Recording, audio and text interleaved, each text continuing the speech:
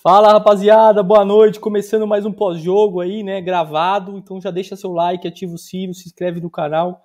Vamos falar desse Palmeiras 1, Botafogo 0. Que jogo lindo! que jogo gostoso de se ver, rapaziada. Olha, falar a verdade, que jogo chato. Fala a verdade. Hein? Chato, né? Um jogo Palmeiras ganhou, beleza, né? A gente fica feliz quando o Palmeiras ganha, mas não, não vou deixar de falar aqui que foi um jogo chato, né? Preciso, é... preciso confessar uma coisa para vocês, velho. Dormiu. Nossa, o primeiro tempo eu dei uma Ei, pescada monstra, velho. Ah, não, não dá. Não véio. perdeu nada, né? Não perdeu. Né? tempo o chuveirinho te acordou, né? Nossa, mas não, não, não dormi, dormi, né? Mas tem alguns momentos assim que eu tava aqui, ó, no sofá. E, e não é zoeira, mano. Pô, tava muito feio, velho. Tava muito feio. O bagulho me deu, mano, me deu sono mim, total, mano. Pra mim, esse jogo é o puro suco da primeira fase do campeonato paulista. paulista. Você pega um time do interior ali que já não tinha mais nada com nada, né? Já não ia cair, não ia se classificar. Você pega o Palmeiras também, que já tá classificado, praticamente garantido na primeira colocação. E não sei, mano. Eu acho que essa primeira fase ela é muito levada de qualquer jeito, assim, pelos grandes, sabe? É não é de hoje, né, que os jogos são ruins. Esse ano o Palmeiras fez, acho que, pô, eu consigo lembrar aqui de cabeça, o jogo contra o Corinthians, parte, né, desse jogo contra o Corinthians e o jogo Foi, contra, é. o, contra o Santo André, acho que foram bons jogos. Porque no, no mais, foram jogos horríveis, mas isso não é exclusividade desse ano, né? Todo ano, praticamente, os jogos são uma porra, velho. Essa primeira fase, graças a Deus, acabou. Agora começa o campeonato e a gente espera ver alguma coisa melhor também, né? E você pega ainda um Palmeiras aí né, com o jogador foi expulso no, no final, né, do segundo tempo.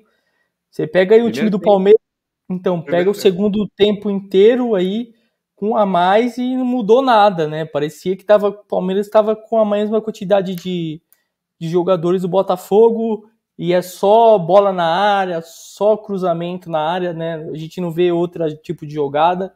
E eu acho também que o Abel podia ter colocado aí. É, o Estevão estava no banco? Porque eu não, não cheguei a ver.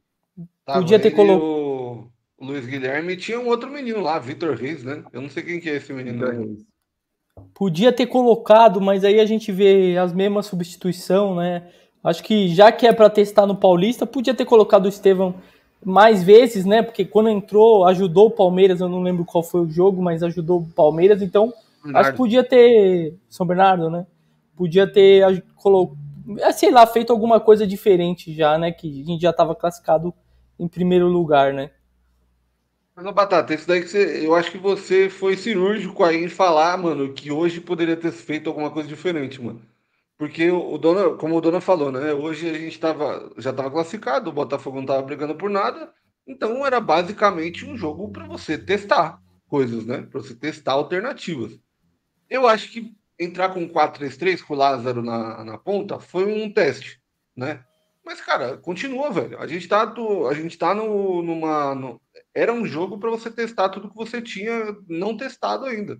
Então, por exemplo, o Estevão, o Luiz Guilherme, bota esses moleques pra jogar, mano. Eu não sei, tá, eu não sei se eles estão performando no treino, não sei se não tá legal, não sei se o, o Abel já viu que talvez não sirva nesse começo, não sei, não, não, não dá para saber o que aconteceu, porque os dois jogaram contra o São Bernardo e nunca mais apareceram.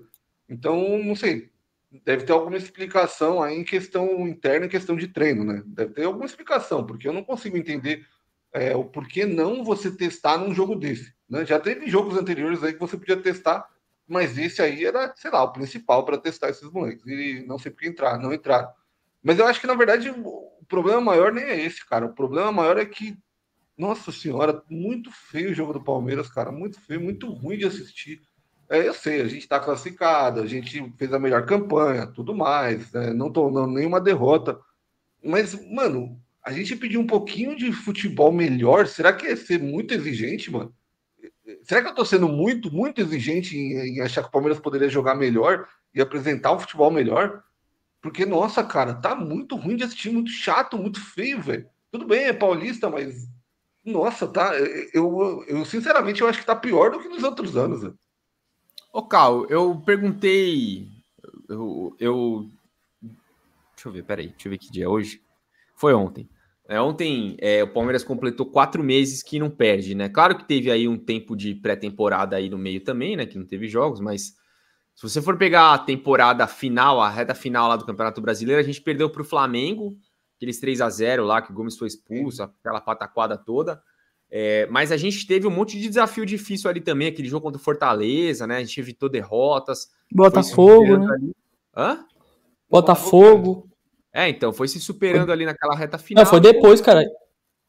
Flamengo? Botafogo foi antes. Foi antes do Botafogo foi antes que virou? É. É, foi antes do Flamengo. Antes. Aí a gente teve essa reta final do, do, do, brasileiro, o Campeonato Paulista agora todo na fase de grupos, né? Os 13 jogos aí. E acho que é a terceira ou segunda temporada que a gente não perde na fase de grupos, né? Então, cara, assim, se por um lado tá faltando bola, por outro também é muito difícil de ganhar do Palmeiras. E, e eu, eu não tô. É, é, claro que assim, eu assisto jogos, eu tava comentando lá com vocês, né? Falei, puta, que, que, coisa feia, mano, que jogo chato de assistir, não acontece nada. Hoje o Palmeiras se limitou só a dar cruzamento lá é, com o Mike. O Mike jogou muito, acertou um monte de cruzamento, foi só isso. O né? melhor em campo, Não é culpa do Mike, é. é a forma como o Palmeiras jogou. Mas enfim, o Mike jogou muito. Mike, Rios e Luan, para mim, foram os melhores já, para deixar aqui meu, meus votos. Mas enfim, é... a parada é que eu não me preocupo tanto, eu não me pego tanto, porque eu tenho na minha cabeça que, mano, fase de, de grupo de Campeonato Paulista é um nojo. O campeonato começa agora. Então, assim, eu meio que. É, eu, eu, fico satisfeito do time não ter perdido, do time estar tá classificado em primeiro lugar, né? Mas, assim, o que a gente precisa olhar para essa fase de grupos é entender: o nível não tá bom, então precisa melhorar, precisa jogar mais, precisa ter mais alternativas ofensivas e precisa aprender com os erros que teve. Né? Tivemos uns erros bem feios aí nessa, nessa primeira fase. Então eu acho que agora é amassar tudo que aconteceu, jogar no lixo, olhar para frente e, e, e, jogar mais, né? Mas assim, cara, eu, eu também, também quero ver um time melhor, mas eu não me, não me desespero em relação a isso. Eu acho que o futebol ele vai ele vai melhorar na hora que tiver que melhorar na hora que. Que é a semana que vem, né? É, que já é semana que vem, mas o que eu quero dizer é que assim, eu acho que contra adversários mais difíceis o Palmeiras tende a jogar melhor. É, que a gente pode pegar aí ou Água Santa ou Ponte Preta, né? É, Água Santa que deu trabalho aí pro Vasco, né, na Copa do Brasil. Quase. E, a, e é quase e a Ponte Preta que já deu né, já eliminou o Palmeiras do Paulista já, né, quando a gente tomou uma eu acho que foi era quartas ou semis, não lembro. Foi né? é, quarta de final 2017, mano. Tomamos 3 a 0. É, 3 a 0 lá e aqui eu acho que foi 1 a 0, se não me engano. Foi isso mesmo. E então já para a semana que vem vai, né, a gente não sabe ainda onde vai ser o jogo aí, provavelmente. Quer dizer, vai ser Barueri, né? Acho que provavelmente. É, então não já vai ter que mostrar um futebol melhor aí mas também nenhum dos grandes está mostrando, né? Um aí ficou de fora. O Santos estava perdendo, virou, dizer... e o São Paulo ainda tem que confirmar, né? Eu ouso dizer no Brasil, cara. Eu acho que no Brasil, se você for olhar, não tem nenhum time sobrando, não. Você pega ali o Campeonato é. Carioca também, que é bem é, mais fácil que esse aqui, né? É, o, o Cauê já falou em off que tá medo do Mengão. Não, o que eu, ah, eu não tô acompanhando. Eu não tô acompanhando nenhum dos times, mas os números do Flamengo tá muito bom. O Flamengo tomou um gol, dois, sei lá, tomou um gol. O Internacional também tá, tá os números do Inter também são muito bons. Acho que teve nos últimos 12 jogos ganhou 11 seguido. Então também tá muito bem, mas é assim, cara, ah, não, sinceramente, o Internacional não, vou... não dá para comparar não, mano. Não, mas então, mas eu não, eu não parei para assistir jogo de nenhum. Porra, eu não, malha malha assistir um jogo do Paulista, eu vou assistir um jogo do Galchão, tá louco? Lógico que não, né, mano? Então, mas o Cal, mas é números que... na internet, mas não dá para é falar. Que esse aí não tem parâmetro, né? É, então, não tem, né? Não dá, né, velho?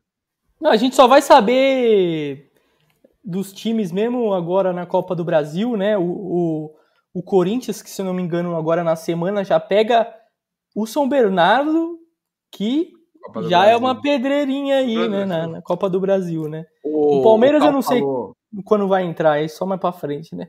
O Cal, o Cal falou do Flamengo. O Flamengo é, é, se eu não me engano, aí ia precisar dar uma pesquisada, mas se eu não me engano, é o único time que ainda tá invicto também na temporada, junto com o Palmeiras, né? É, o Inter que você citou conseguiu a proeza de perder um jogo lá no, no Galchão, Mas, cara, assim, o que, eu, o que eu acho é que nesse começo de ano é muito difícil você encontrar alguém que, que, que sobre, alguém que, porra, nossa, que não sei o que tá destruindo. E, mano, é, é aquela coisa, né? Leva um tempo até os times chegarem no seu, no seu auge. Mas o que fica é que, assim, nesse momento a gente está disputando o, Paulista, né? E, e, e para o Paulista esse nível tá bom. Então eu é. tô me concentrando aqui agora, né? Não agora, mas quando a gente olhar lá para frente, vai precisar melhorar. E, e assim, cara, o Palmeiras parece que já se deu por satisfeito do mercado, né? Vai chegar o Rômulo aí no final do campeonato paulista. É. E só, mas eu sigo, eu sigo lembrando de uma questão muito importante. O Hendrick já já vai, vai vazar, embora. Mano. Já já vai vazar. E hoje a gente teve aí Flaco perdendo gols, Lázaro perdendo gols aí também, né? O Rony, apesar do gol, também é, ainda faz. É, dá muito trabalho, né, pro, pro Palmeiras. dá muito trabalho pro Palmeiras. dá, é, eu sei, fez o gol, né, mas é, ele exagera, né, quer dar bicicleta, tudo. É, e o Flaco mesmo já perdeu o gol contra o Corinthians, que cara a cara com o gol que não pode perder, perdeu hoje, então também não sei se é o cara, não é o cara que vai vai é, substituir aí o Vamos falar a verdade, vamos falar a verdade. O Flaco com a bola no pé, ele ainda não surpreendeu. Ele é bom de cabeça, mas com a bola no pé, às vezes ele tá ele tá dando umas falhadas, né, mano? É, eu acho que falando sinceramente mesmo, não não é o cara aquele cara mesmo que vai meter caixa assim, vai fazer seus gols, mas acho que não é aquele matador, né? Não, eu acho, eu acho muito boa a temporada dele. Eu acho que ele pode ser importante, mas tem que trazer outro. Tem que trazer Esse é o problema. alguém pinta de titular. Né? É o que eu tô falando, cara. O Hendrick vai sair, bicho. E parece que o Palmeiras não se deu conta disso. Né? Então fica mascarando aí, o, fica tapando só com a peneira. Aí o moleque entra no próximo jogo, destrói contra a ponte, ajuda ali numa semifinal. De repente é o cara da final, a gente bate campeão. Pô, que legal, campeão, legal.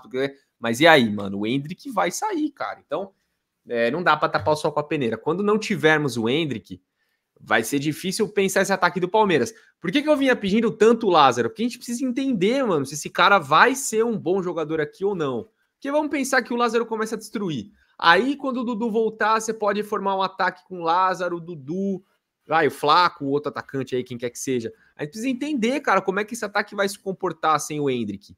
E na boa, eu não sei como vai ser. O Lázaro precisa jogar mais. Agora, o próximo jogo, eu acho que ele já sai do time. E volta o é. Hendrick. Ele já vai, o Abel já vai mexer. Eu só espero que pro Hendrick voltar também não sobre pro Flaco, né? Porque é para jogar, sei lá, vai. É, é Rony e Hendrick, que é, que é bem a cara do Abel, fazer esse tipo de coisa, né? A gente precisa entender algumas situações em relação ao nosso ataque, mano. O negócio não, não, não tá essa uva, não. A gente precisa de contratação, a gente precisa entender é, se esses jogadores que chegaram podem ser úteis e como podem ser úteis, né? Enfim, há trabalho a ser feito, principalmente do meio para frente. É, e essa semana aí, mais uma semana de folga, né? E ainda não se sabe quando que é o jogo, se é sábado, se é domingo, contra quem é também. Então é aguardar essa semana aí é, para ver com, contra quem o Palmeiras joga, né? É isso aí, rapaziada. E essa semana aí eu vou prometer que a gente vai fazer live no, no, no meio da semana, prometo. Se, é se, não, se não tiver, você pode xingar lá no meu Instagram, tá bom? Beleza. E no do Cauê, pode xingar todinho eles. Valeu, rapaziada. Deixa seu comentário também, o que, você achou do jogo, né? O que, você concorda, discorda com a gente. Faltou, faltou o craque e o, ah, pé de volta e o pé de moleque. É, o pé, é, pé de moleque eu gostei. É, o craque eu acho que foi é, eu acho que como o Donati comentou, eu acho que eu vou dar pro Mike, mano.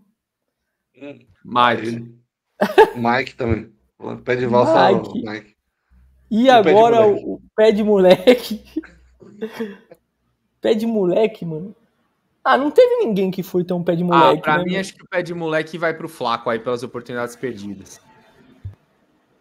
É, eu vou pro Flaco é, eu também. Eu vou concordar, eu vou concordar também, porque eu mal vi o Flaco no jogo, mano. E quando eu vi, eu vi ele perdendo gol. Acho que pode ser. E o, o, o Everton fazendo algumas boas é, defesas também, né? Não, não vai ficar no top, mas também não vai, não vai ser o pé de mão. O mão não, de, não vai ser o mão de moleque. Foi não bem, vai ser um monte. é, e, e, é só para comentar aqui, na, na, na, transmissão da Casa de TV, teve aquela pergunta, né? É, se você manteria o Rony no time, né? Foi acho que essa pergunta, né? Foi. Foi. titular. Ele merecia ser titular. E ganhou sim, né? E eu quero saber de você aí, né? Você que tá em casa aí, você manteria o Rony no time, sim ou não? Vocês colocam aí no comentário aí também. Beleza? E na próxima live, o Donati eu vou falar se eles manteriam ou não. Demorou. Tchau, Tchau. falou, falou pra vocês, rapaziada. Valeu. Valeu.